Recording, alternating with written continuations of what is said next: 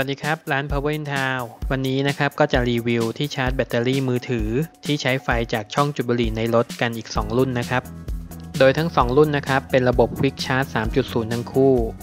ตัวแรกนะครับเป็นที่ชาร์จที่มีพอร์ต USB เป็นพอร์ตสีส้มนะครับ ตัวนี้จะมีอินเวอร์เตอร์อยู่ที่ 200 วัตต์ด้วยนะครับ สามารถชาร์จโน้ตบุ๊กได้ด้วย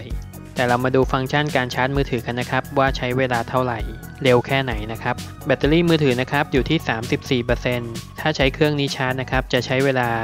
จนเต็มอยู่ที่ 1 ชั่วโมง 40 นาที คราวนี้เรามาดูอีกตัวหนึ่งนะครับ ตัวนี้เป็นหัวชาร์จอย่างเดียวนะครับ รองรับโวลต์ตั้งแต่ 12 โวลต์ถึง 32 โวลต์นะครับ แปลว่าใช้งานกับรถบรรทุกที่ใช้ระบบ 24 โวลต์ได้นะครับ ตัวนี้พอร์ต USB นะครับ เป็นสีน้ำเงิน ระบุไว้ว่า Quick Charge 3.0 นะครับ ให้กระแสสูงสุดอยู่ที่ 3.1 แอมป์ แล้วมาลองชาร์จกันดู โทรศัพท์เครื่องเดิมนะครับ แบตเตอรี่อยู่ที่ 34%ก็จะใช้เวลาชาร์จทั้งหมด 1 ชั่วโมง 59 นาทีสำหรับการใช้หัวชาร์จตัวนี้นะครับ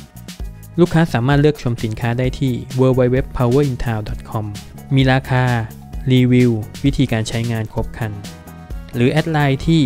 @power.intown เปิดบริการหลังเที่ยงวันครับ สินค้าจัดส่งถึงหน้าบ้าน เก็บเงินปลายทาง ขอบคุณที่ติดตามครับ